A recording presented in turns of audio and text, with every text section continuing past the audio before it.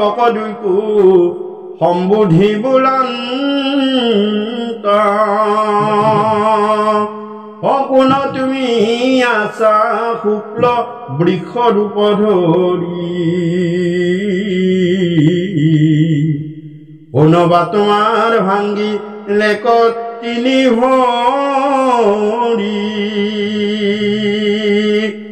আৰু তেতিয়া ৰজা পৰীক্ষিতৰ বহুত খং উঠিলে খং উঠি আহি কৈছে যে তোমাৰ সাজত কিন্তু ৰাজসাজ আছে, ৰজাৰ চিন ৰজাৰ সাজযোৰ পিন্ধিছা, কিন্তু তোমাক দেখোন এটা মহাপাখণ্ড পাতি যেন লাগিছে। কাৰণ, কথা হ'ল, ইয়াতে কৈছে যে, কেইদিনমান হ'ল মোৰ পিতামহ অৰ্জুন স্বৰ্গলৈ যাবলৈ। কৃষ্ণ এই পৃথিৱী এৰিবলৈ কেইটামান দিন হ'ল? আৰু কৃষ্ণ যোৱাৰ পাছতেই তই এনেকুৱা অন্যায় কৰিছ। প্ৰতিদিনে কৃষ্ণই যাৰ চৰণ স্পৰ্শ কৰে। ভগৱন্ত ঈশ্বৰ কৃষ্ণৰ সাতগৰাকী মাতৃ। আমি বৰ বেছি তিনিগৰাকীৰ কথাহে জানো। সপ্ত মাতৃক প্ৰতিদিনে প্ৰভু ভগৱন্তই নমন কৰে। আৰু আমিও সেই সপ্ত মাতৃক প্ৰতিদিনে নমন কৰা উচিত। সেইটো বেদৰ বিহিত নীতি কৃষ্ণই কৃষ্ণ হৈ কৰা নাই। তেওঁ নৰ হৈ আমি কৰিবলগীয়া কৰ্মবিলাক দেখাইছে তিনিগৰাকী মাতৃ যিয়ে জন্ম দিছে তেওঁ হৈছে দৈৱকী। যিয়ে তেওঁক লালন পালন কৰিছে তেওঁ হৈছে যশোদা। আৰু এগৰাকী বৈমাতৃ বৈমাতৃ আছে তেওঁ হৈছে ৰোহিণী। তাৰপিছত হৈছে বেদমাতৃ। বেদবিলাকক তেওঁ সন্মান কৰে বেদ মানে ৰীতি নীতি তেওঁ ৰীতি নীতিক সন্মান কৰে ৰীতি নীতি সদায় বজাই ৰাখিবলৈ বিচাৰে। তাৰপিছত ধৰা মাতৃ এই পৃথিৱীখনক ধৰা মাতৃ বুলি কয়। গতিকে এয়া ধৰা মাতৃ তাৰপিছত গুৰু মাতৃ গুৰু গুৰু মাতৃ মানে গুৰু পত্নীসকলক মাতৃগত জ্ঞান কৰিব লাগে। যিবিলাক জ্যেষ্ঠ শ্ৰেষ্ঠ গুৰু আছে শিক্ষা গুৰু আছে জ্ঞানদাতা গুৰু আছে অকল যে আমি এইটোকেই নাভাবিম যে অকল শিক্ষকসকলৰ শিক্ষকসকলেহে আমাৰ গুৰু। এয়া নহয় সমাজৰ জ্যেষ্ঠ শ্ৰেষ্ঠ যিবিলাক সজ সৎ বুদ্ধিদায়ক বয়সস্থ লোক তেওঁলোকো আমাৰ আমাৰ গুৰু হয়। আৰু সেই গুৰু মাতৃ গুৰুৰ পিছত হৈছে গৌ মাতৃ। এই সপ্ত মাতৃ সপ্ত মাতৃ। আৰু প্ৰতিদিনে ভগৱন্ত পুৰুষে সপ্ত মাতৃক নমিলা। গতিকে সেই ভগৱন্ত পুৰুষ এই বৈকুণ্ঠ এৰি যাৱাৰ কেইদিনমান পাছতেই তোমালোকে গৰুৰ গৌ মাতৃৰ ওপৰত এনেকুৱা অত্যাচাৰ কৰিছা। এইটোতো কৰিব নালাগে। বোলে তোমাৰ গাত পাখণ্ডৰ চিন আছে আৰু তুমি এনেদৰে মহন্তক উৎপীড়ন কৰা আৰম্ভ কৰিছা। অৰ্থাৎ কলিযুগৰ পৃথিৱীলৈ অহাৰ সেই এটা চাইন যে মহন্তসকলকো সুখে শান্তিৰে থাকিব নিদিব। আপুনি যদি বেয়া কাম কৰি থাকে বেয়াক চাপোৰ্ট কৰি থাকে আপুনি সুখেৰে থাকিব পাৰিব।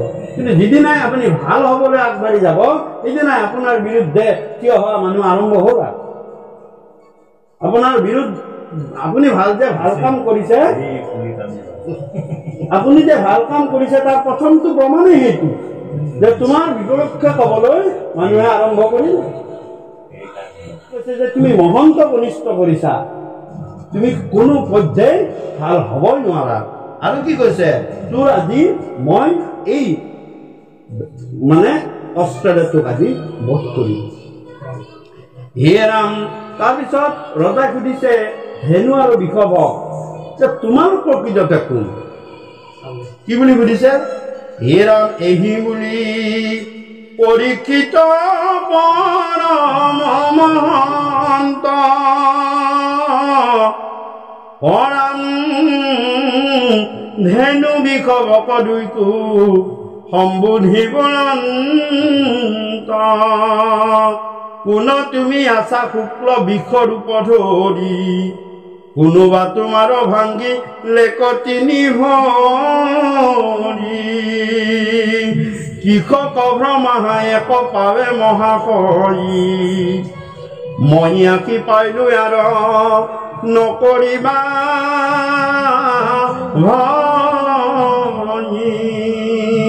জৈতে ৰাখে কৌৰৱ ৰাজাৰ বাহুদণ্ডে পোকে সিটো লোকৰ লুটকনতো পৰে।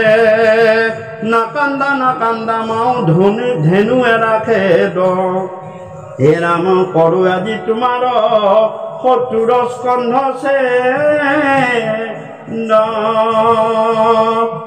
অৰাম যদি দেৱে কৰে তোমাক হেন দণ্ড। তাহাৰ কাটিব খালং কৃত বাহু খণ্ড।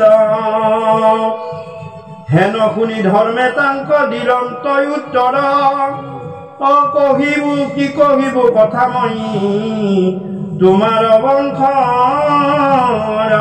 তেতিয়া ৰজাই ধেনুৰূপী ধৰ্ম অৰ্থাৎ বৃষভক অভয় প্ৰদান কৰিলে আৰু ধেনু মাতৃকো অভয় প্ৰদান কৰিলে। গোমাতৃকো অভয় প্ৰদান কৰিলে গাইজনীকো অভয় প্ৰদান কৰি ক'লে যে তোমালোকে ভয় নকৰিবা। মই আহিছোঁ যেতিয়া ইয়াৰ সমুচিত বিচাৰ হ'ব আৰু তোমালোকক যিয়ে কষ্ট দিছে তেওঁ যদি সঁচাকৈ ই দেৱতাও যদি এনেকুৱা ৰূপ ধৰিছে মই দেৱতা হ'লেও ইয়াক মই কিন্তু সোধাই নেৰিম। গতিকে আৰু ক'লে তেতিয়া বৃষভে অৰ্থাৎ ধৰ্মই ক'বলৈ আৰম্ভ কৰিলে। প্ৰথম। প্ৰথমতে কোনে ক'লে? ধৰ্মই ক'বলৈ আৰম্ভ কৰিলে। কি ক'লে? যে হে ৰজা তোমালোকৰ বংশৰ কথা মই জানো। ৰজা কিন্তু গম পোৱা নাই সেই যে ধৰ্ম। বৃষভ বুলি ভাবি আছে চিনাকি দিয়া নাই। তোমালোকৰ বংশৰ কথা মই জানো। তোমালোকৰ বংশৰ কিমান পূজ কুকীৰ্তি এই পৃথিৱীত বিয়পি গৈছে বিয়পি আছে এই কথা মই খুব ভালদৰে জানো। আৰু তোমাৰ ৰাজ্যত এনেকুৱা ধৰ্মশীল বংশীয় ৰাজ্যত এনেকুৱা অধৰ্মৰ সৃষ্টি হোৱাটোহে মই বৰ চিন্তিত কৰি দিছোঁ যে কি কাৰণতনো তোমালোকৰ এনেকুৱা পবিত্ৰ ঠাইত এনেকুৱা অপবিত্ৰ কৰ্ম হ'বলৈ ধৰিছে?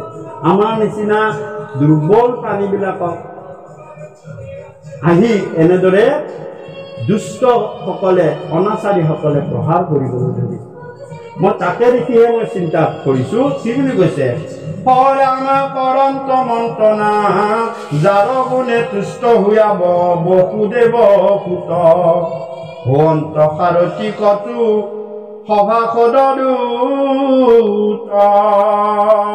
কৰন্ত মন্ত্ৰণা কতো মন্ত্ৰী হুয়াই এৰি খান্দা ৰাখি থকা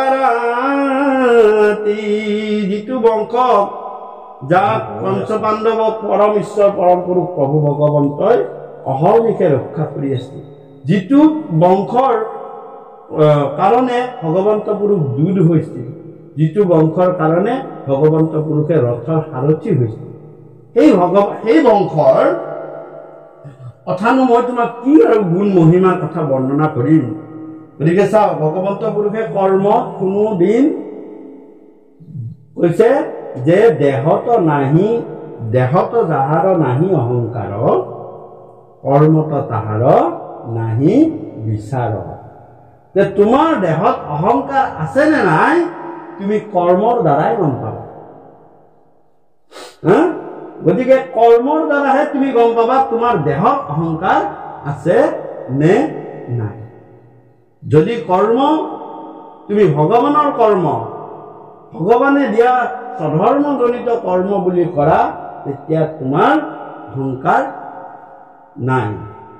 কিন্তু মই মোৰ কৰিছোঁ মোৰ এই শৰীৰটোৰ মোহত যদি পৰি কৰা তেতিয়া তাত তোমাৰ অহংকাৰ আহিব হীন বেৰি আহিব।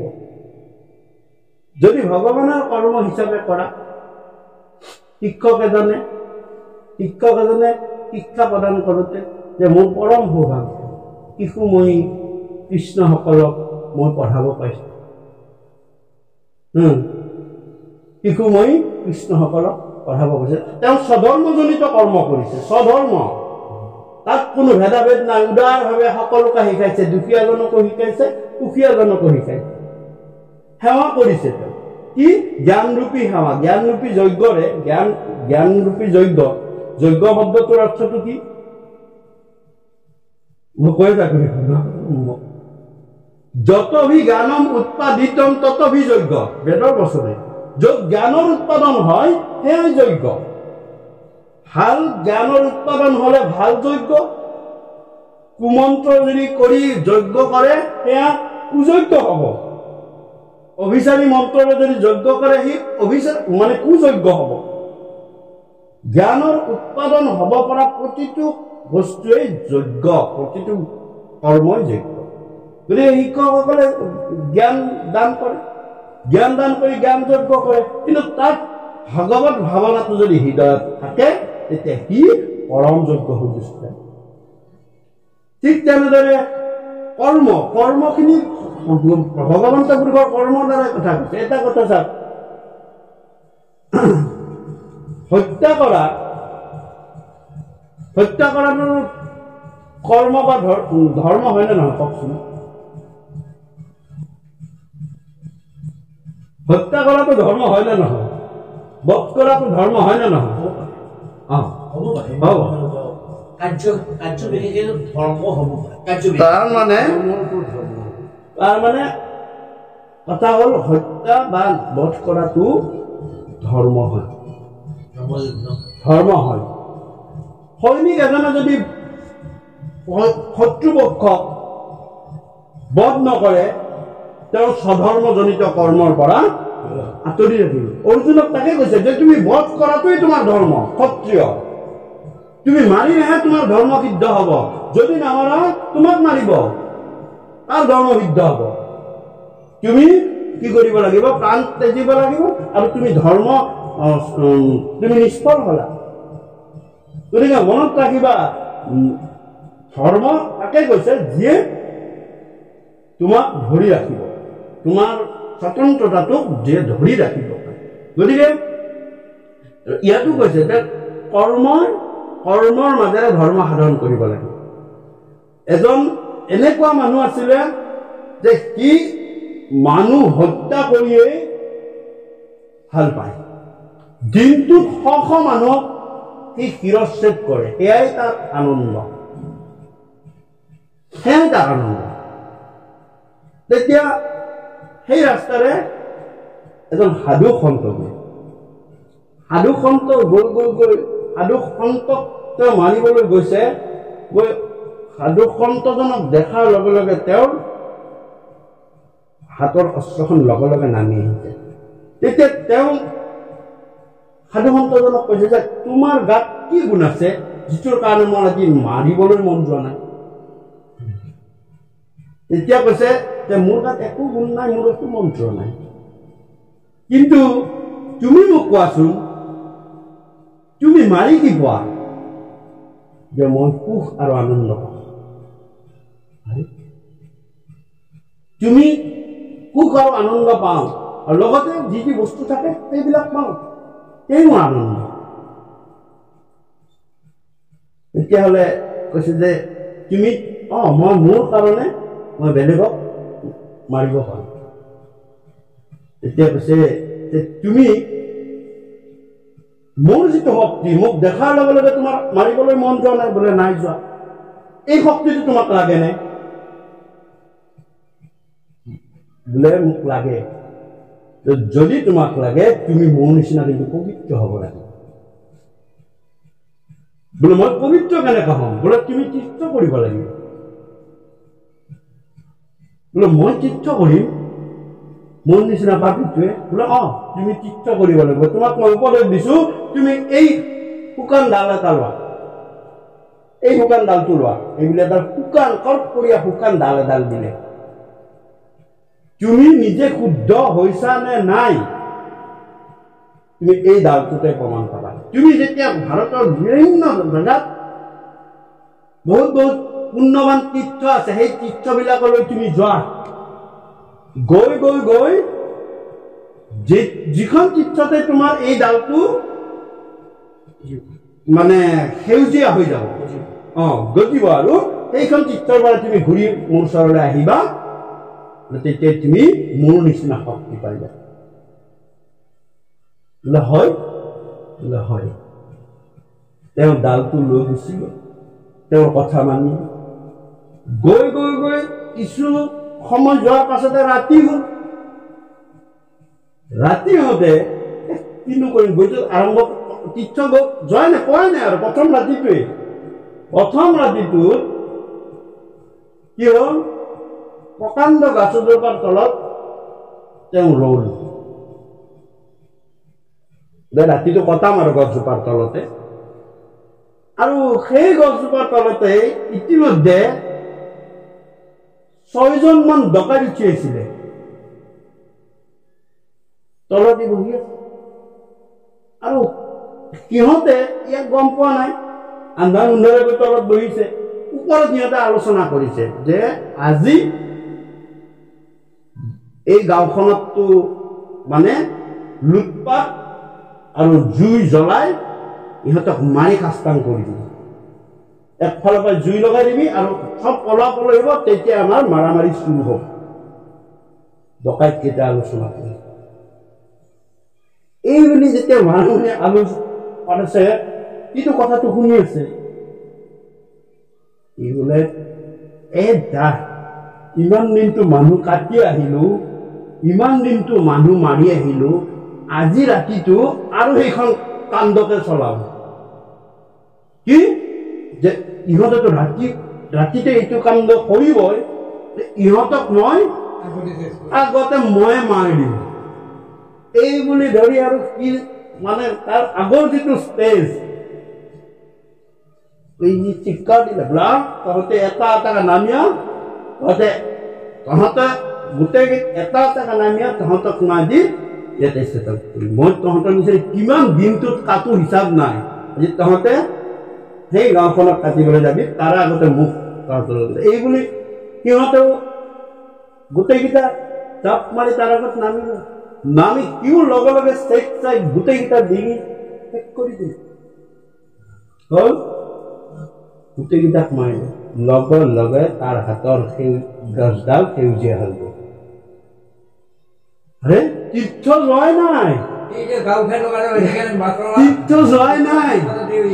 গছডাল আৰে মোৰতো গছডাল সেউজীয়া হৈ আছে আচৰিত কথা তেওঁ তাৰ পৰাই ঘূৰি আহিলে এই সন্ত সাধুজনৰ মনৰ ওচৰলৈ আহিলে বোলে হে প্ৰভু মোৰ গছডাল সেউজীয়া হৈ গ'ল চোৱা কৰ্ম একেখিনিয়ে তুমি আগতে তোমাৰ কাৰণে কৰিছিলা তোমাৰ চখৰ কাৰণে তোমাৰ আনন্দ তোমাৰ সুখৰ কাৰণে তুমি কৰিছিলা আৰু এতিয়া তুমি গাঁওখনৰ দহৰ আনন্দৰ কাৰণে তুমি যিটো কৰ্ম কৰিলা সেইখিনিয়ে তোমাক পৰম পবিত্ৰ কৰি দিলে। তুমি তীৰ্থলৈ যাবই নালাগে তুমি পবিত্ৰ হৈ গ'ল।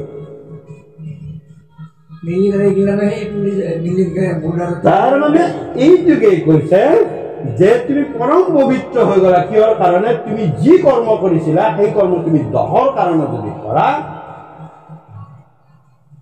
আমি সংসাৰৰ কাৰণে যিখিনি কষ্ট স্বীকাৰ কৰো যিখিনি ধৈৰ্য ধৰো তাৰে এশ ভাগৰ এক অংশ যদি ভগৱানৰ কাৰণে কৰে আপোনাৰ জীৱন কৰবাৰ পৰা কৰবালৈ লৈ গুচি যাব। জীৱৰ সেৱাৰ কাৰণে কৰে আপোনাক কৰবাৰ পৰা কৰবালৈ লৈ গুচি যাব। ভগৱন্ত গতিকে এই সেৱা কৰ্মৰ কথা কৈছে। আৰু হৰি ৰাম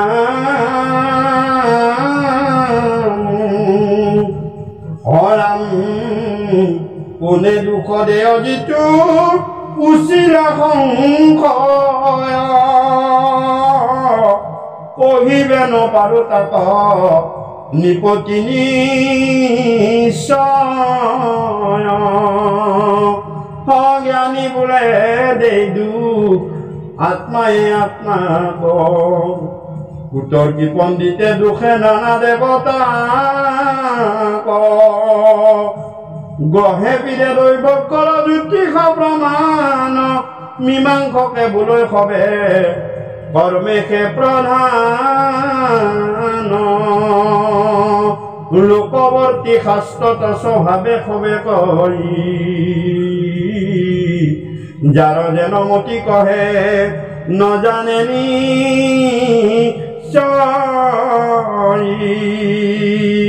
একান্ত ভকত সবে কহে নাই।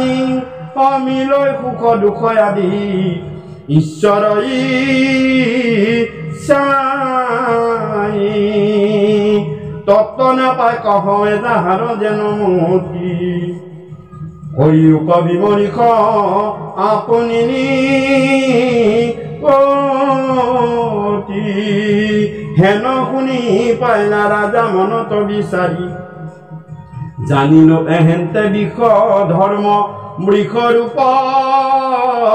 ধাৰি এতেকে সে পৰপাপ নকৰা বিদিত কয়ে যিটো হৈ সিটো তেন পাপ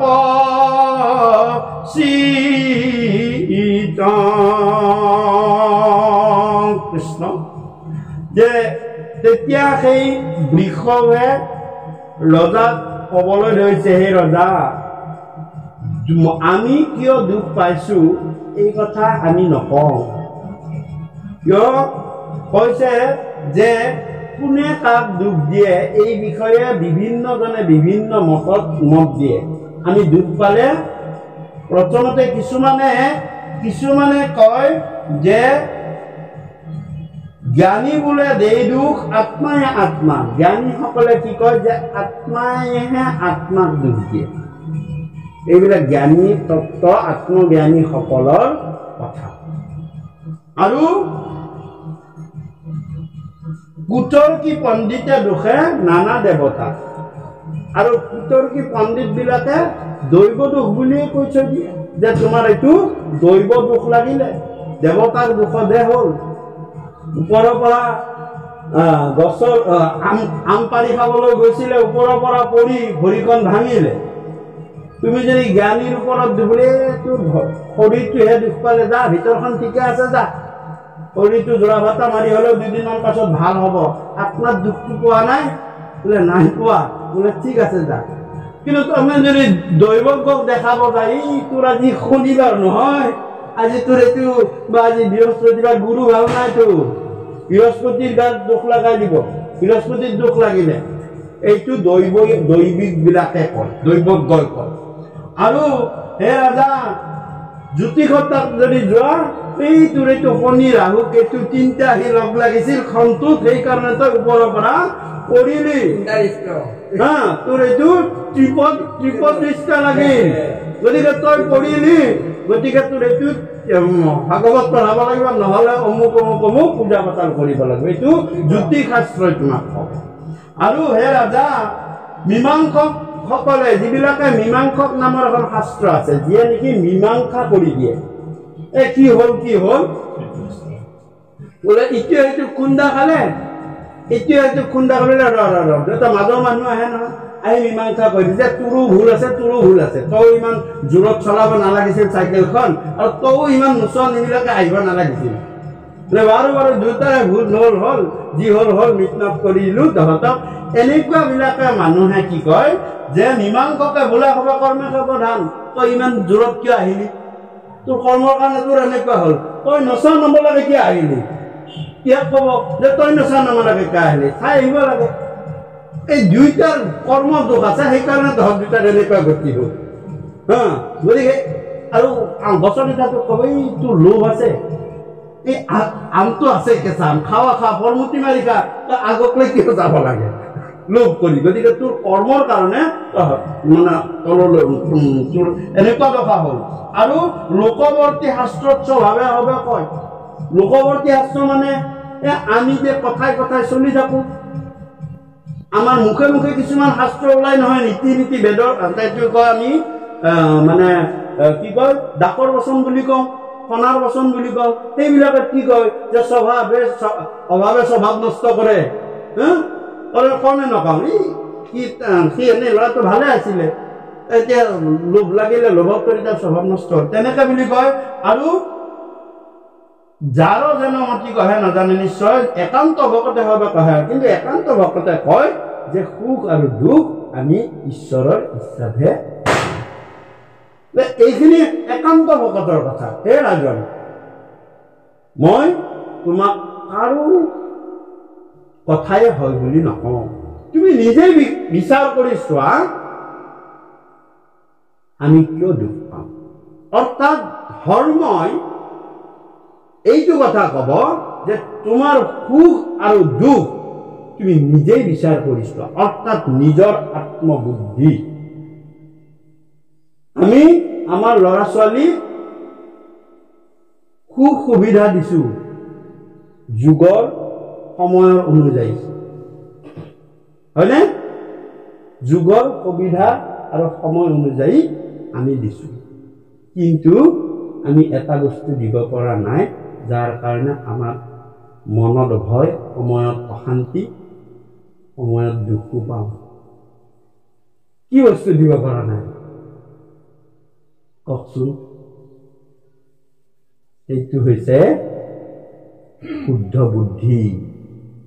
আমি বুদ্ধি দিব পৰা নাই সদবুদ্ধি যাৰ কাৰণে অপৰ্যাপ্ত সুখ বা সুবিধা দিলেও সময়ত তেওঁলোকে বিপথে পৰিচালিত হয় বিপদগামী হয় আৰু কি হয় যে অন্যায় অধৰ্ম অনীতি কৰিবলৈ সুবিধা পায় আমি যদি শুভ বুদ্ধি দিব নোৱাৰো বাকীবিলাক দিও কোনো কাম নাই। আমি দিয়া নাই সেইটো। কিন্তু আমি দিবৰ কাৰণে শুভ বুদ্ধি দিবৰ কাৰণে আমি যদি নিজে নাজানো? আমি যদি নিজে নাজানো আমি কি কৰিব লাগে? যে সৎসংগৰ ওচৰলৈ ল'ৰা ছোৱালীক নিয়াব লাগে। সৎসংগৰ ওচৰত ল'ৰা ছোৱালীক বহাব লাগে। গুৰু গুৰুস্থানীয় লোকৰ ওচৰত বহাই তেওঁক সৎ বুদ্ধি প্ৰদান কৰিব লাগে। কি কৈছে? আমি যে মহাপুৰুষ গুৰু মাধৱদেৱে এটা খুব সুন্দৰ উক্তি দিছে। কি বুলি ক- বুলি কৈছে? হেৰাণ শাস্ত্ৰ গুৰু দেশ কি চহবে ঈশ্বৰ কাণে দেখয় হেৰাময় বুদ্ধিক হতস্থ কৰিয়া নিশ্চয়। আত্মাক দেখে নিশ্চয়।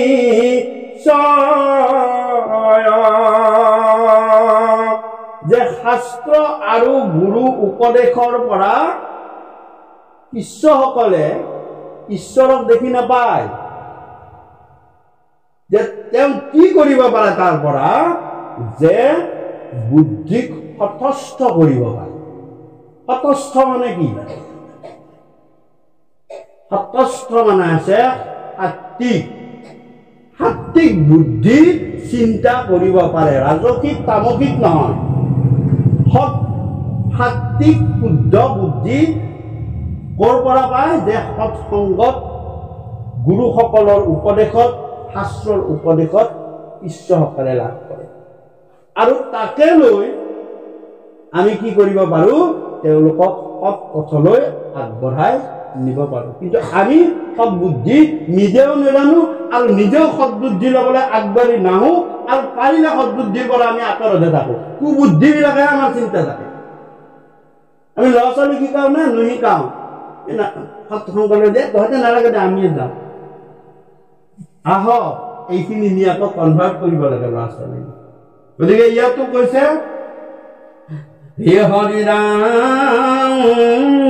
ধৰ্মই কি ক'লে? যে কাকো দুখ দি লাভ নাই।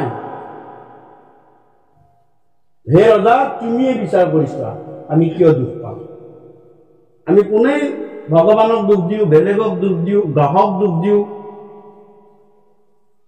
স্বভাৱক দুখ দিওঁ।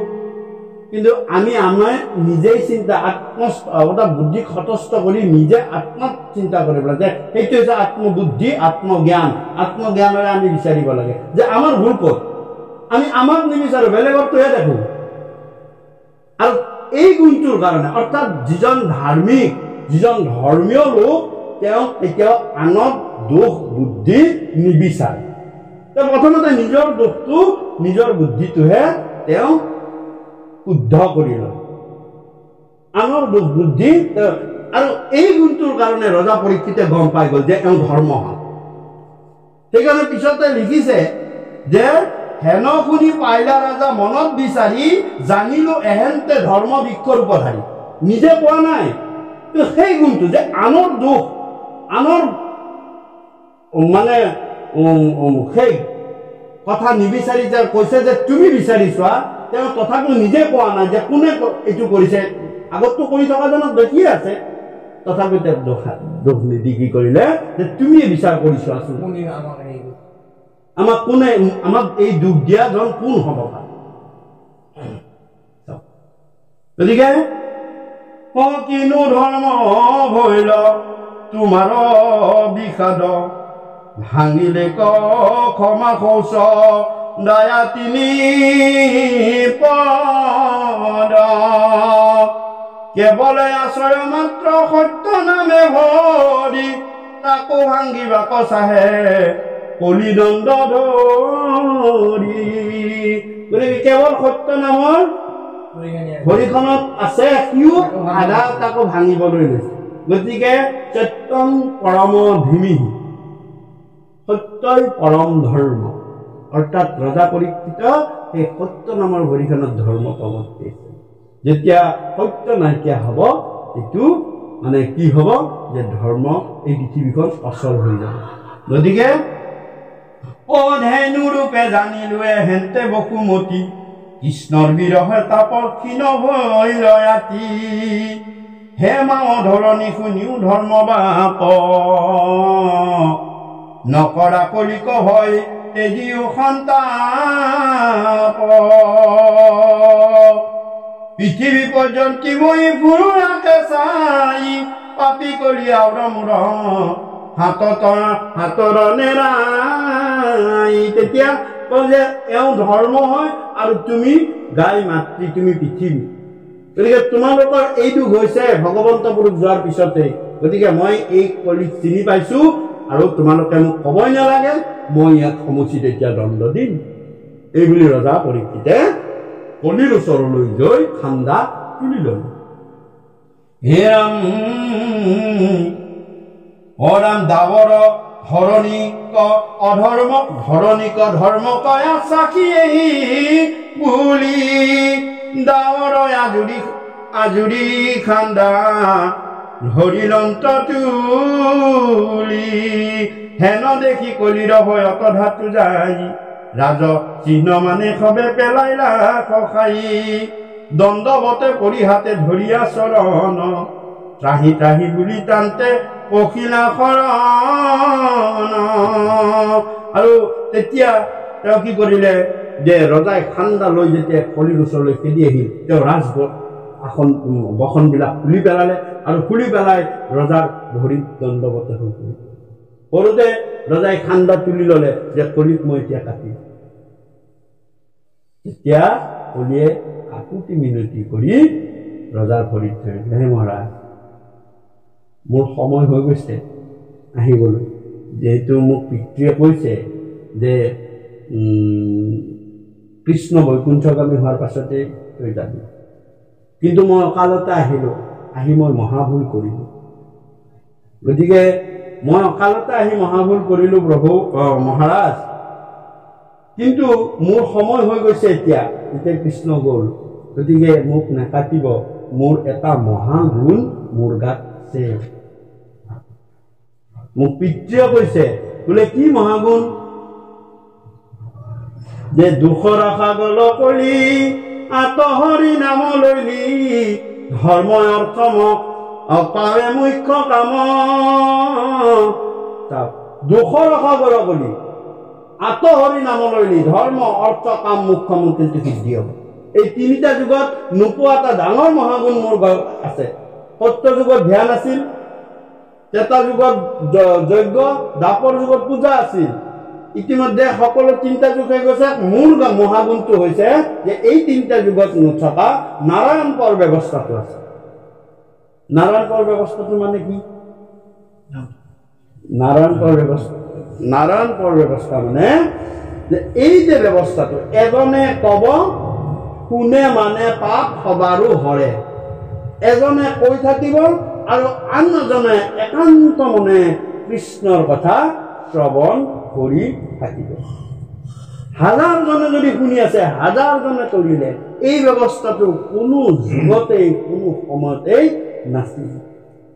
মাত্ৰ একেবাৰে শেষত মহাৰাজ পৰীক্ষিত যেতিয়া তৰণৰ উপায় পায় তৰণৰ উপায় পাবৰ কাৰণেহে এই ব্যৱস্থাটো সুখ মহামুনিৰ দ্বাৰা দাপৰৰ শেষৰ সময়খিনিত আৰু কলি যুগৰ আৰম্ভতে ৰজা পৰীক্ষিতে কৰিছে এই ব্যৱস্থাটো কোনো যুগত নাই সত্যটো নাই ধ্যান কৰিবলৈ গুচি যায়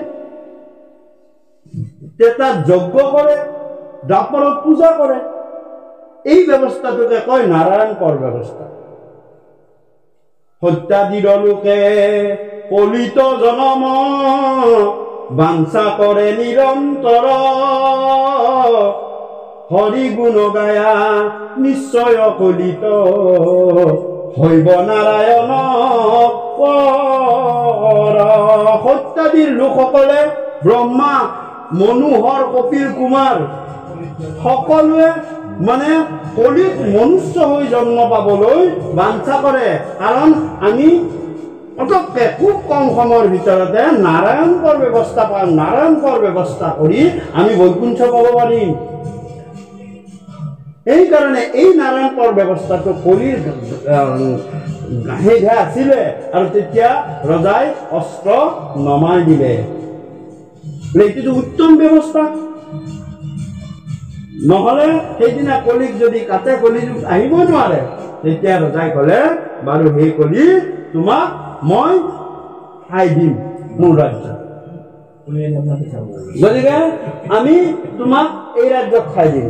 এই বুলি ৰজাই কলিক কলে যে তাৰ ভিতৰত কৈছে যে হে মহাৰাজ মই কল্কি পুৰাণৰ পৰা এটা কথা যম সংহিতাৰ পৰা এটা কথা কৈছো। যে যম সংহিতাত যমে যম আৰু কলিক আগত ৰাখি ভগৱন্ত পুৰুষে প্ৰশ্ন কিছুমানৰ উত্তৰ দি আছে এয়া যম সংহিতা আগত যম যম মানে কি? যম মানে আমি মৃত্যুৰ ৰজা বুলি কওঁ মৃত্যুৰ ৰজা নহয় যম মানে নিয়ম। যেনেকৈ জন্মিলে মৰিব লাগে নীতি আছে ধৰা এইটোকে যম বুলি কয় যম মানে নিয়ম সংযম। এই নিয়ম নীতিৰ মাজলৈ আহিলে তাক সংযম বুলি কয়। হয়নে? ল'ৰা ছোৱালী ভাল কৰিবলৈ ছয়টা বস্তু লাগিব। আপোনালোকক মনত ৰাখক। যে সৎ বুদ্ধিৰ ল'ৰা ছোৱালী কৰি তুলিব গৃহস্থ সংসাৰে ধৰ্মী লোকসকলক তাত ছটা বস্তুৰ প্ৰয়োজন হয়।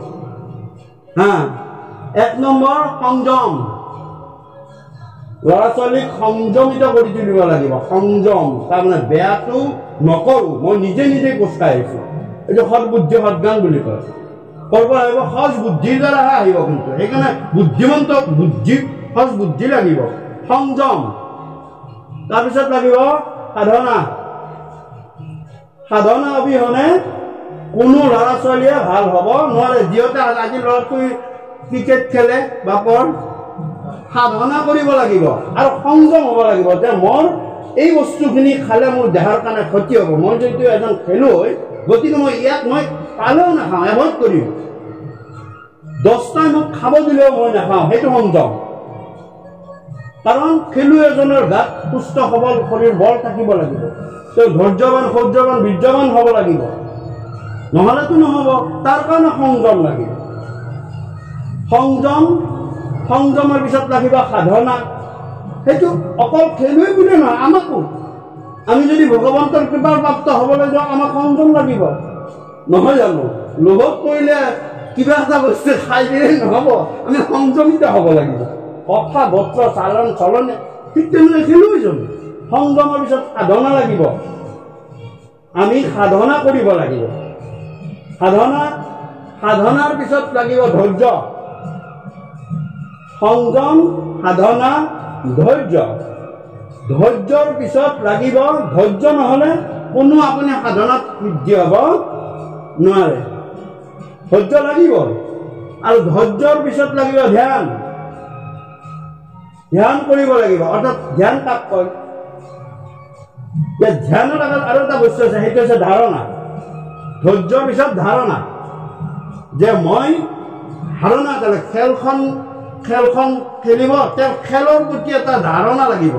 যে খেলখন এনেকে খেলে ৰি- হয়নে নহয়? ধাৰণা খেলৰ ধাৰণাটো লাগিব তাক আজি আমি উম, ভক্তি ভাৱৰ ধাৰণাটো আমাৰ হৃদয়ত লাগিব যে আমি ভক্তি কৰি ভগৱানক প্ৰাপ্তি কৰিম। মই আমি শিখৰত যাম ভক্তি।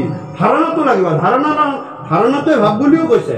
ভাবিলে ভগৱন্তক ভজিব পাৱ নভাবিলে কদাচিতো ওচৰ নাপাৱ ভাৱ ধাৰণাটো লাগে আমি ভাৱ ধাৰণা বুলি কওঁৱেই তাৰপিছত ধাৰণা ধৈৰ্যৰ পিছত ধাৰণা ধাৰণাৰ পিছত ধৰ্ম ধ্যান আৰু ধৰ্ম। ধৈৰ্য ধ্যান ধাৰণা ধৰ্ম হয়নে? গতিকে তাক ধৰ্ম মানে কি? খেলত কি ধৰ্ম আছে? ধৰ্ম মানে কি কওকচোন?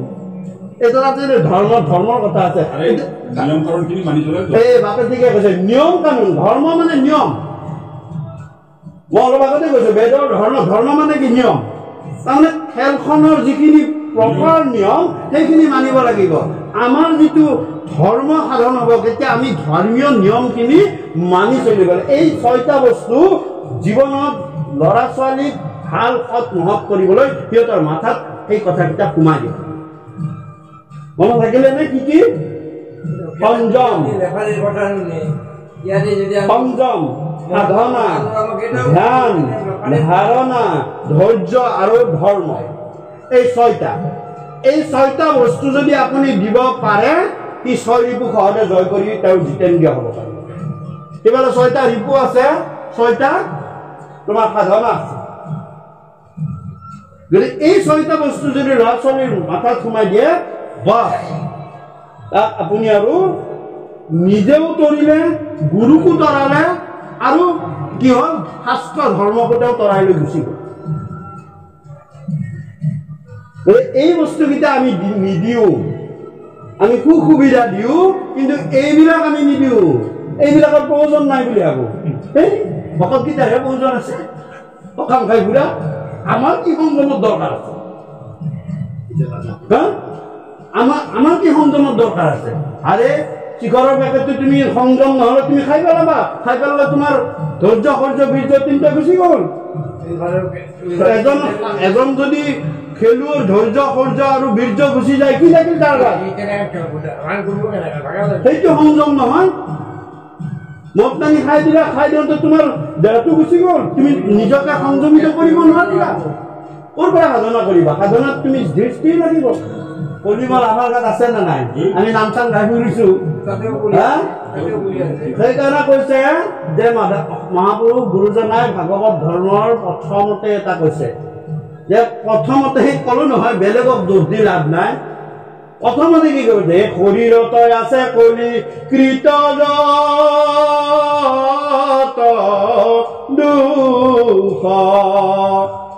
গুচুক প্ৰথমে কৰা হৰি হৰি দুখ। প্ৰথম কৰিব দিছে তেতিয়াহ'লে তুমি প্ৰথম তোমাৰ নিজৰ দেহৰ গাৰ পৰা কলিমলবিলাক আঁতৰাইবা তাৰপিছত সমাজৰ মাজলৈ যাবা। নিজৰ গাতে কলিমল সোপালৈ সমাজক চাফা কৰি দে- থাকি- থাকিব। তুমি কেতিয়াও নোৱাৰিবা। কেনেকুৱা কলিমল যে আজি এইখিনি যিখিনি কথা কলো কৃষ্ণ কথা যিখিনি কথা কলো আমি এসপ্তাহ নালাগে। বাপে বা কি গৈছিল পাহৰিলোৱে নহয়। হয়নে? এইখিনি কি কথা? কৃষ্ণ কথা। এইখিনি কথা? অমৃত কথা। চাওক কিন্তু আজি মোৰ তুতু মুমু কাৰোৰ লগত তৰ্কাতৰ্কি লাগকচোন। দুই বছৰ পিছত মই কৈ দিম অমুক জেগাত অমুক সময়ত অমুকৰ লগত অমুক অমুক মানুহ থাকোঁতে অমুক সকাম খাব যাওঁতে আপোনাৰ লগত মোৰ তৰ্ক। আৰে এটা মানুহ ভাল কথাখিনি সাত দিনো মনত ৰাখিব নোৱাৰে কিন্তু কাজিয়া কৰাখন পাঁচ বছৰ পিছত সুধিলেও time accurate time accurate person accurate place accurate কষ্ট সকলোখিনি কৈ দিব। চাওক কলিয়ে তোমাক বাধা দি আছে। অৰ্থাৎ তোমাৰ কন্দল ৰূপী তোমাৰ মনটো কলিয়ে হাতত ধৰি টানি লৈ গৈ আছে আৰু তোমাৰ ভক্তিৰূপী কৃষ্ণৰ মনটো কলিয়ে বধ কৰি থলে। আমি কলিৰ অধীন। আমি কি পাহৰিব লাগে? আজি কিবা এটা লাগিলে পাহৰিলো। কিন্তু কৃষ্ণ কথাখিনি আমাৰ সদায় মনত থাকিব লাগে। জীৱন থাকে পৰ্যন্ত। কিন্তু আমি প্ৰথমতে কি পাহৰো? সাতদিন নালাগে। তিনদিন দুইদিন এদিন কালি ৰাতিপুৱা পাহৰিলো। হয়নে নহয় এয়া কলিৰ প্ৰভাৱ। এই হৈছে কলিৰ আমাৰ দেহত থকা প্ৰমাণ। গৃহস্থবিলাকত তেতিয়া ক'লে যে তোক মই জাগা দিছো গৃহস্থৰ তই ভিতৰলৈ যাবি সংসাৰৰ ভিতৰলৈ তই যাবি। কেনেকে যাবি? বোলে প্ৰভু এটা কথা মোৰ কিন্তু ল'ৰা ছোৱালী বহুত। বোলে কি? বোলে মোৰ চাৰিটা ল'ৰা। বোলে কি? কাম কোদ লোভ আৰু মুখ। এই চাৰিটা ল'ৰা আৰু সেই মই প্ৰসংগটো কৈছিলো বৈকুণ্ঠৰ কথাটো তেতিয়া ভগৱন্ত পুৰুষে কৈছিল যে মই কলিৰ কলিয়ে সুধিছিল যে আপুনি এইবাৰ কোনফালে যাব মনুষ্যৰ? বোলে মই ইমান দিন মনুষ্যৰ চকুৰে গৈ আছিলো ভিতৰলৈ। দৰ্শনটোৱে মোক কাম দিছিল। মই মোক ভগ হাবিৰ মাজত গৈ যজ্ঞ কৰি যজ্ঞ কৰি হাবিৰ মাজত গৈ মোৰ সাধকসকলে মোক ধ্যান কৰিছিল। পূজা কৰিছিল আৰু সেই পূজাত সন্তুষ্ট হৈ মই কি কৰিছিলোঁ তেওঁলোকক আগত দেখা দিছিলোঁ। অৰ্থাৎ মই দেখা নিদিয়ালৈ তেওঁলোকৰ ধ্যান পূৰ্ণ নহয় তেওঁলোকৰ পূজা পূৰ্ণ নহয় যজ্ঞৰ আহুতি পূৰ্ণ নহয়। মই দেখা দি তেওঁলোকৰ মনোবাঞ্ছাবিলাক পূৰ্ণ কৰিছিলোঁ। চকুৰ আগত দেখা দিছিলোঁ। তেখেতসকলে দিব্য দৃষ্টিৰে মোক দেখা পাইছিল।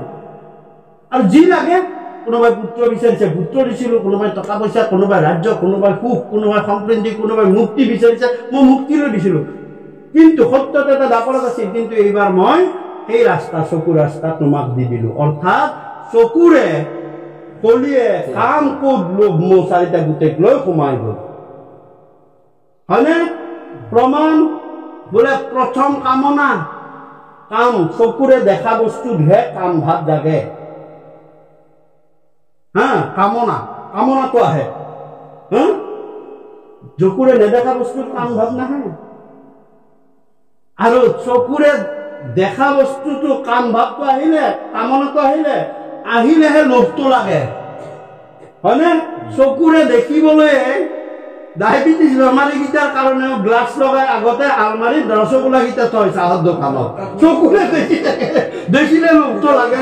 যদি তাতে এখন ডাক কাগজ দি থৈ দিলেহেঁতেন চকুত নপৰিলেহেঁতেন কিয় গ্লাছখন দিয়ে? এখন প্ৰাইভেট দি থৈ দিব পাৰে কিয় দিয়ে? একদিন। আৰু হয়নে? কিয় গ্লাছখন দিয়ে?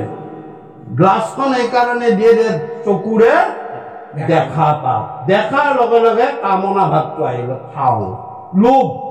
কামৰ পিছত লোভ লোভৰ পাছত ইফালে ইফালে চাই ঘৰৰ মানুহ যদি নাই মোহ অৰ্থাৎ মোৰ কৰি হত হলো। মোহ হ মোৰ কৰি হত হোৱাটোকে মোহ বুলি কয়। অৰ্থাৎ এইটো মোৰ তাৰমানে প্লেট এখনত চলাই কেনে মোৰ কাৰণে। দি এইটো মোহত কৰিলো ৰসগোল্লাটো। হল? মোহত কৰিলো যেতিয়া চৰাইটো আনিব ওলাইছিল। আহি সি আৰু নাহি বস্তুটো নাহি। এইটো মোৰ তাৰমানে মোক এটা দি মোৰ মোক খালে হ'ল জীৱ হ'ব আৰু। ল'ৰাটো ভাল আহি ক'লে নহয় এই খুৰা খুৰীয়ে দেখোন আপোনাক ৰসগোল্লা দিবলৈ। মানা কৰিছিল তাই কৈছে মই দিম খং উঠিল। ক্ৰোধ। মোৰ লগা বস্তুটো যদি আপুনি নাপায় আপোনাৰ খং উঠিব। দৰকাৰে ল'ৰাটো মাৰি লয়। দে বুলি কৈছো নহয়। ক'ব নে নক'ব? কাম ক্ৰোধ কাম লোভ মোহ আৰু ক্ৰোধ। চকুৰ লগত ৰিলেটেড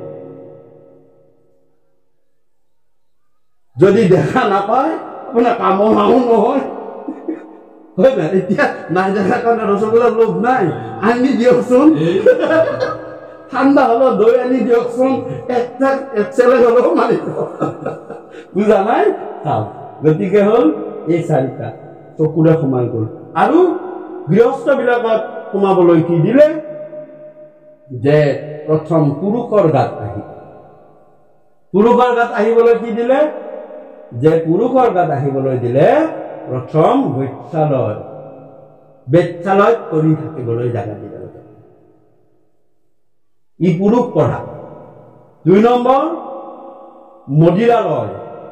মদিৰালয়ত থাকিবলৈ মদ খোৱা জেগাত থাকিবলৈ য'ত মদিৰা পায় তিনি নম্বৰ য'ত জোৱা পাখা খেলে দৌত্ৰালয় ইয়াৰ ভিতৰত দুটাত অলৰেডি কৃষ্ণৰ দিনতেই জেগা লৈ লৈছে এটা হৈছে জোৱা পাখা খেলা আৰু মদিৰালয় ইয়াত জেগা লৈ লৈছে। আৰু বৈত্যালয় তাৰপিছত আহিলে এই তিনিটা জেগা পুৰুষসকলৰ কাৰণে। অৰ্থাৎ পুৰুষসকলে তাত গ'লে কলিয়ে তাৰ লগত লগ লগি গুচি আহে। আৰু আহি গৃহত প্ৰৱেশ কৰে। আইগৰাকীয়ে বৰ সুন্দৰ ৰাতিপুৱা গধূলি কৃষ্ণ নাম লৈ ঘৰখন কৃষ্ণ ৰাজ্য কৰি ৰাখে। কিন্তু লগত অহা কলিয়ে এফালৰ পৰা গোটেই গৃহস্থখনত কণ্ডল লগাই আছে গতিকে মনত ৰাখিব এই তিনিটা বস্তু এঘাত কেতিয়াও পুৰুষ মানুহ নেযায় আৰু যাব নোৱাৰে যাব নালাগে। মন্দিৰলৈ আৰু মন্দিৰলৈ আপুনি গম পাবই ঘৰখনত অশান্তি হোৱাৰ কাৰণ তাতে কিবা নহয় কিবাকে কৰি এই তিনিটা জেগাত শুনে সেয়া পুৰুষৰ। আৰু স্ত্ৰীসকলৰ পঞ্চ সোণা দিলে। ইয়াতে আছে যে কি বুলি ক'লে? হেৰাম হেৰাম স্ত্ৰী পঞ্চ সোণা গৃহস্থৰ থাকে জড়িত অয়ে চাৰি ঠাই দিলো মঞ্চ গয়াত জলকুম্ভ চুলিয়া বাঢ়নি ঢেকি পতা গৃহস্থৰে ঘৰে সি সোণা পঞ্চভূতা এইবাৰ স্ত্ৰী পঞ্চগুণা বুলি ক'লে শব্দটো শুনিছেনে স্ত্ৰী আখৰটো লিখিছে। কিয় লিখিছে? এইকেইটা পুৰুষ প্ৰধান। মদিৰালত কেতিয়াও আইমাতৃসকল নাযায় ৰিক্সালত নাযায় হয়নে? আৰু যোৱা পাখা আইমাতৃসকলে কেতিয়াও নেখেলে এই তিনিটা পুৰুষৰ। তেতিয়া কলিয়া ক'লে ৰ'ব, এটা দুটা পক্ষ পাতি ল'লো যে স্ত্ৰীসকলৰ দ্বাৰাওতো মই যাব পাৰোঁ। বোলে পাৰিবা? তোমাক পঞ্চসোণা দিলোঁ। গতিকে পঞ্চসোণা স্ত্ৰী পঞ্চসোণা কি বুলি কৈছে? যে প্ৰথম হ'ল বাঢ়নি। মনত ৰাখিব বাঢ়নি বা ঝাৰুডালত সদায় কলি থাকে। বাঢ়নিত ধৰা মানে বা ঝাৰুত ধৰা মানে তুমি কলিৰ হাতত ধৰা। কিন্তু ঘৰটো চাফা কৰিবই লাগিব। হয়নে? গতিকে মনত ৰাখিব যে বাঢ়নিত ধৰি তুমি যিমানবাৰ এৰা বা কিবা বেলেগ বস্তু চুবলৈ হ'লে হাতখন লগে ধুব লাগিব কিন্তু। হাত যদি নোধোৱাকে তুমি আন বস্তু চোৱা যি বস্তুৱে চোৱা নাকটো যদি চোৱা ইফালে কলি সোমাই গুচি যাব। যে বাৰণি চোৱা মানে? কলি হাতত ধৰিলে এৰা এৰিয়াৰ লগে লগে হাত ধুইহে আন বস্তু তাত ধুৱাব লাগে। নহ'লে সেইফালে কলি তোমাৰ গুচি যিহত ধৰা টকা পইচা ল'লে টকা পইচাৰে যাব। যদি কাপোৰ ধোৱা কাপোৰেৰে যাব। মোবাইল ফোনটো লোৱা মোবাইল ফোনটোৰে গুচি যাব। কিন্তু হাত ধোৱা আৰু লগে লগে কৰ। এইটো উপায়। তাৰপিছত তাৰপিছত দিলে বাঢ়নি পোখনি। পোখনি মানে পতা পাতটোত পতাখন। পতাখন কি? পতাখনত কলি থাকে। গতিকে পতাখন ব্যৱহাৰ কৰাৰ আগতে ধুব লাগে আৰু ব্যৱহাৰ কৰি উঠি ধুই থব লাগে। যদি নোধোৱে বা নোধোৱাকে ব্যৱহাৰ কৰে তাত কলি থাকিব আৰু খাদ্যত কলি প্ৰৱেশ কৰিব কৰি তোমাৰ অশান্তিৰ সৃষ্টি কৰিব গতিকে ধুই থব লাগে এইবিলাক গৃহস্থ ধৰ্মী কথা। তাৰপিছত তিন নম্বৰ তিন নম্বৰ হৈছে ঢেঁকী পুখলি আৰু পতাৰ কথাটো এতিয়া প্ৰসংগ কওঁ আজিকালি বহুতে কয় সেইদিনা গুৱাহাটীতো কৈছো মই কথাটো যে এটা কথা আজিকালি বাপ মিক্সি হ'ল দিয়ক। মিক্সিটো সেই একে কথা।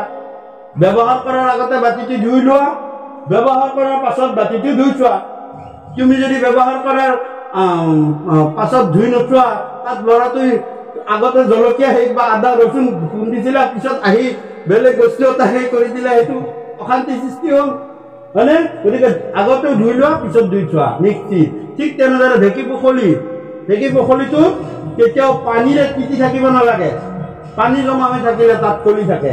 গতিকে ঢেঁকী পুখলি সদায় শুকান কাপোৰেৰে সোমাই থৈ দিব লাগে আৰু শুকান কাপোৰেৰে মুচিহে ব্যৱহাৰ কৰিব লাগে। তাত পানীৰে ধুব নালাগে। গতিকে যিবিলাক মিক্সিৰ বাতিত যিকেইটা পিঠাগুড়ি কৰোঁ আমি পিঠাগুড়ি এতিয়াতো ধুই আৰু খাব নোৱাৰোঁ। আমি পিঠাগুড়িখিনি গাখীৰ দি মিক্স কৰিয়ে খুৱাই দিলোঁ কেঁচুৱা ল'ৰাটোক দিলোঁ নে নাই? কিন্তু তাৰ আগতে যদি পাত্ৰটোত যদি বীজাণু সোমাই থাকে ল'ৰাটোৰ ক্ষতি নকৰিলে এইটোৱে কলি হ'ল গতিকে তাক কি কৰা শুকান কাপোৰেৰে মচি লোৱা আৰু শুকান কাপোৰেৰে মচি থোৱা আৰু দুই নম্বৰ কথা তাৰপিছত আহিলে যে তাৰপিছত আহিলে জলকুম্ভ জলকুম্ভ মানে হৈছে যে পানী থোৱা পাত্ৰ বুজা নাই গতিকে পানী থোৱা পাত্ৰটো আহি মানে ধৰক জাৰটোৱে হওক বটলটোৱে হওক গিলাচটোৱে হওক কলহটোৱে হওক বাল্টিটোৱে হওক কেতিয়াও খালী থব নালাগে খালী থাকিলেই তাতে কি থাকে যে কলি সোমাই থাকে যেনেকুৱা বহুত দূৰ দূৰণিৰ পৰা বাপজন আহিছে আহি ঘৰত সোমাইছে পিয়াহত আঁতুৰ হৈ আহিছে। যে মই বেলেগত পানী নাখাওঁ। মই ঘৰৰ পানীখিনি মোৰ বিশুদ্ধ মই ঘৰৰ পানীখিনি খাম। এই বুলি আহি সোমাই দিছে। আহি এই মুখতে থকা টেবুলখনতে জাৰটো আছিলে। জাৰটো কি কৰিলে? আহি দাঙি ল'লে দাঙি লৈ মুখত ওপৰত দি দিলে বোলে এনেকে খাওঁ। বা গিলাচটোত ধৰিলে পানী এটোপো নাই। লাগি গ'ল কণ্ডল দিনৰ দিনটো কাম কৰি আছা? এই পানী এতে একটু খাব পৰা নাই। অৰ্থাৎ তাত কলি আছিলে। কলিয়ে খংটো চুলাই দিলে চুলাই দি তেওঁ কি কৰিলে ইয়াৰ পৰা বঞ্চিত কৰি দিলে হাহাকাৰ লগাই দিলে। গতিকে তাতো আৰু একেবাৰে শেষত হৈছে। গতিকে জুই শালত সদায় মনত ৰাখিব জুই শালত আপোনালোকে জোখালত কৰি থাকে। অৰ্থাৎ জোখালতটো আমি মেচৰ কাঠিটো মাৰিবই লাগিব। কিন্তু তাত মেচৰ কাঠিটো মাৰোতে মনত ৰাখিব সদায় যে তুমি মেচৰ কাঠিটো যি ভাৱত মাৰি দিয়া মেচৰ কাঠিটো মাৰাৰ লগে লগে আগতে দেখিছিলো চৌকাত কেৰাচিন ঢালিলো বহুত পোক পৰুৱা মৰি গ'ল। আজিকালি আকৌ গেজল বা পোক পৰুৱাটো উঠিবই নোৱাৰে। বোলে নহয় আজিকালি আৰু বায়ুত থকা যিবিলাক উপকাৰী বেক্টেৰিয়া লগে লগে মৰি যায়। ব্ৰহ্মবোধি পাতটো তোমাৰ তালৈ আহে। গতিকে তাক কি কৰা তুমি নাদযোগ্য ব্যৱহাৰ কৰা নিযোগ্য ব্যৱহাৰ কৰা। অৰ্থাৎ তুমি তাত কৃষ্ণ নাম লোৱা আৰু মেচটো মাৰি দিয়া। সেই পাতখিনি ব্ৰহ্মই পৰম ব্ৰহ্মই লৈ লয়। কাৰণ তুমি ব্ৰহ্ম সিদ্ধ কৰিবা সেইখন যজ্ঞ কৰিবা। হয়নে? আমি যে অন্নমুঠি ৰান্ধো আইসকলে কি বুলি ভাবে বাৰু? অন্নমুঠি যে ঘৰত ৰান্ধো আপোনালোকে কি বুলি ভাবে? কি ৰান্ধো বুলি? যে ল'ৰা ছোৱালীয়ে খাব মানুহটোৱে খাব আৰু ভাত মানছো আৰু। এনেকুৱা নহয়। সেইটো কিন্তু শাস্ত্ৰই কৈছে গৃহস্থ শাস্ত্ৰও কৈছে। ভাগৱত শাস্ত্ৰটো বেলেগে কথা গৃহস্থ ধৰ্মী শাস্ত্ৰও কৈছে। গৃহস্থ শাস্ত্ৰ বুলি এখন আছে তাতো কৈছে। যে হৈছে ব্ৰহ্মযজ্ঞ। অন্নটো ব্ৰহ্ম। ব্ৰহ্ম চাৰিবিধৰ ভিতৰত এটা হৈছে অন্ন ব্ৰহ্ম হয়নে? অন্ন ব্ৰহ্ম এয়া হৈছে নাদ ব্ৰহ্ম এটা হৈছে জীৱ ব্ৰহ্ম আৰু এটা হৈছে পৰম ব্ৰহ্ম অন্নটো ব্ৰহ্ম। এতিয়া ব্ৰহ্ম যেতিয়া সিদ্ধ কৰে তাক সেইখন ব্ৰহ্ম যজ্ঞ হয়। যজ্ঞ এই আমাৰ নাদ ব্ৰহ্ম হয় নে নহয়? ইয়াত তেত্ৰিশ ধৰণৰ দেৱতা মূৰ্তিমন্ত হৈ ভগৱন্ত পুৰুষৰ নাম উচ্চাৰণ হোৱাৰ কাৰণে ইয়াতে সষ্টম হৈ ৰখি আছে। আৰু এতিয়া অন্নমুঠি যেতিয়া সিদ্ধ কৰো অন্ন ব্ৰহ্মৰ কাৰণে ভগৱন্ত পুৰুষে তিনিজন দেৱতা আৰু এজন এগৰাকী দেৱীক ৰাখিছে সাক্ষী কৰি সি যি ভাৱত এই কাম আৰম্ভ কৰিব সেইভাৱে অন্ন ব্ৰহ্মত সোমাই গুচি যাব। আমি যে নাদ ব্ৰহ্ম ভাল কথা কৈ আছো ভাল জ্ঞান উৎপন্ন হৈ আছে ইয়াৰ পৰা পুণ্যৰ উৎপন্ন হৈ আছে। আমি যদি বেয়া কথা আমি গোটেইখিনি মানুহে ইমান সময় কৈ থাকিলেহেঁতেন আমাৰ বেয়া জ্ঞান আৰু পাপৰ উৎপত্তি হৈ থাকিলে। হয়নে? ঠিক তেনেদৰে যেতিয়া অন্ন ব্ৰহ্ম সিদ্ধ কৰিবলৈ যাব তেতিয়া প্ৰথম আপোনালোকে দেখিব যে প্ৰথম ক'লোৱেই যে জুইটো জ্বলাই দিলে। হয়নে? কি নাম লৈ যে যজ্ঞ কৰিছে ভগৱন্তৰ নাম লৈ কৃষ্ণ। লাইটাৰটো মাৰিলে কৃষ্ণ মেচটো মাৰিলে কৃষ্ণ কৃষ্ণ বুলি কোৱাৰ লগে লগে যে যেতিয়া আহি গ'ল জুই লাগি গ'ল সেয়া অগ্নি দেৱতা তাত সাক্ষী হৈ গ'ল কৃষ্ণৰ নাম লোৱাৰ লগে লগে অগ্নিয়ে নিজৰ দায়িত্ব পালন কৰে মই সাক্ষী হৈ আছো এক নম্বৰ সাক্ষী অগ্নি আহিলে দুই নম্বৰ পিছত ধৰা মাতৃ অলপ আগতে ক'লোৱেই ধৰা ধৰা মানে পৃথিৱীখন ধৰি থকা কাৰণে স্বৰূপটো হৈছে ধৰা মাতৃ দেৱী কোন দেৱী ধৰা দেৱী ধৰা মানে পৃথিৱী। দুই নম্বৰ সাক্ষীটো হৈছে ধৰা। চৰু নোহোৱাকে অন্ন সিদ্ধ হ'বনে? কেতিয়াও নহয় হয় নে নহয়। এই দেৱীটো হৈছে ধৰা দেৱী, অৰ্থাৎ পৃথিৱী। পৃথিৱী সাক্ষী কৰি দুই নম্বৰ দেৱ তিন নম্বৰ, জল নহ'লে আপোনাৰ কোনো অন্ন সিদ্ধ নহয়, তাত জল দেৱতা সাক্ষাতে বিৰাজে। চাৰি নম্বৰ, যে তাত আৰু এজন দেৱতা সেই আছে বায়ু দেৱতা এই চাৰিটা তিনিজন দেৱতা এগৰাকী দেৱীক সাক্ষী কৰি পৰম ব্ৰহ্মই অন্ন ব্ৰহ্ম যজ্ঞ সিদ্ধ কৰাৰ সকলো খবৰ গম পাই। তুমি যি ভাৱত ৰান্ধিছা তুমি যদি সেই অন্ন শুদ্ধ ভাৱত ৰাখিছা ৰান্ধিছা তেতিয়া শুদ্ধভাৱে গোটেই পৰিয়ালটোত বিয়পি পৰি থাকিব কথা নাই ঘটনা নাই কাণত ফোনটো লৈ কিবা খংখিনীয়াকৈ আহি ফচকে লাইটাৰটো জ্বলাই দিলো ভাতকেইটা থেকেচকে পাতি দিলো হা? পাতি দি অলপ পিছতে মানে মানুহ খাওঁ যদি খাই নাখাওঁ যদি নাই মই যাব হৈছে। এই বুলি মাতি আনিলে আনি ঢাকত যাব ল'ৰা ছোৱালীকো দি দিলে। আৰু তাৰ পৰা তুমি একো ক'ব নালাগে তোমাৰ ভাৱে তাত সোমাই গৈছে। আৰু সেই ভাৱে গৈ ল'ৰা ছোৱালীৰ গাত তোমাৰ এটা এটা এটা অন্নকৈ বিয়পি গুচি যাব। তুমি যদি শুদ্ধ ভাৱত ভগৱন্তৰ প্ৰসাদ ব্ৰহ্মযজ্ঞৰ প্ৰসাদ হিচাপে ৰান্ধা তেতিয়া তুমি ক'ব নালাগে। ল'ৰা ছোৱালী অট'মেটিক শান্ত হৈ আহিব অট'মেটিক সংস্কাৰী হৈ আহিব অট'মেটিক কৃষ্ণ নামৰ প্ৰতি আগ্ৰহী আগ্ৰহী হৈ আহিব। হয়নে নহয়? এয়া অন্ন ব্ৰহ্ম সিদ্ধ কৰাৰ মানে মাহাত্ম সেইকাৰণে ভকতবিলাকে যে বেলেগত নাই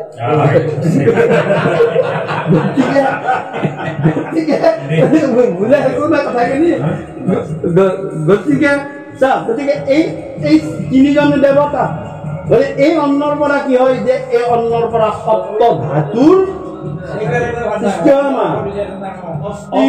মেদ মজ্জা বীৰ্য তেজ তপ ছাল ছাল ছাল গতিকে এই সপ্ত ধাতুৰ অন্নৰ পৰা সৃষ্টি হয়।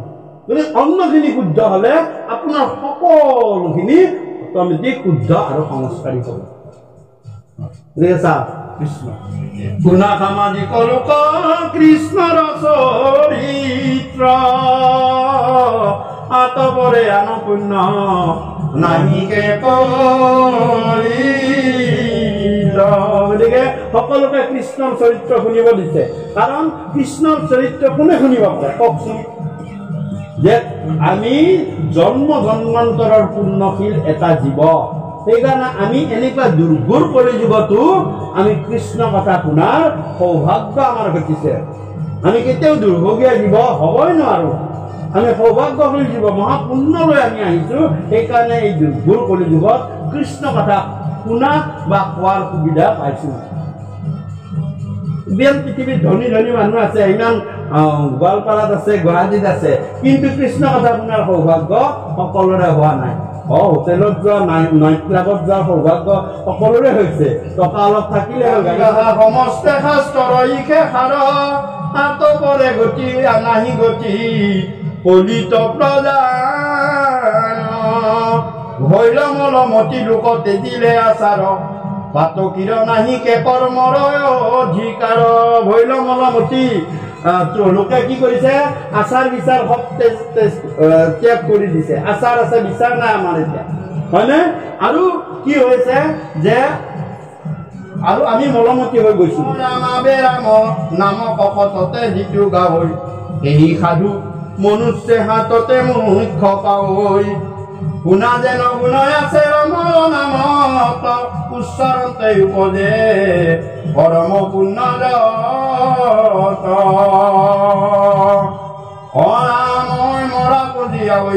অমৃত ঔষধ। হেন নাম নধৰি আপুনি যায় অধম। গতিকে চাওক যে মৰাকো জীয়াব পাৰো ইটো কি হ'ল? যে অমৃত ঔষধ ই মৰাক জীয়াই। কি কৰিব পাৰে? মৰাক জীয়াব পাৰে। জীয়াক মাৰাটো বেলেগে জীয়াক মাৰাটো নহয় ই মৰাক জীয়াই। যেনে কেনেকুৱা যে আপোনালোকে চাওক মৰাক জীয়াৰ কথাটো। পোন প্ৰথমে ৰজা পৰীক্ষিতে শৃংগীমুনিৰ ঘৰত কি দিছিল। মৰা হাত দিছিল। আৰু শেষত ভাগৱত কথাৰ লগৰ লগে লগে যেতিয়া ভাগৱত কথা শেষ হ'ল ৰজা পৰীক্ষিতক কি সাপে গোটাইছিল কি ইয়া। এইয়া। মৰা আছিল নে প্ৰথম শেষত গৈ সেই সাপে জীয়া হৈ জীৱৰ প্ৰাণ ললে নে নললে কিহৰ কাৰণে? ভাগৱত তত্বৰ কাৰণে। মৰাকো জীয়াব পাৰে। উদাহৰণ ৰজা পৰীক্ষিত। মৰা সাপ দিছিল সেই সাপে আহি প্ৰাণ পাই গৈ তক্ষকক তক্ষক ৰূপ লৈ খুটা মাৰি অনাম কেতিখনে ধৰে কাৰণে কাৰো নাহি কীৰ্তি অদ্যপি নুবুজয় ঘোৰা নৰকৰ ভীতি। কৃষ্ণৰ কিংকৰে কহে গতি হৰি নাম বুকিও ভগনে নিরন্তরে রাম রাম।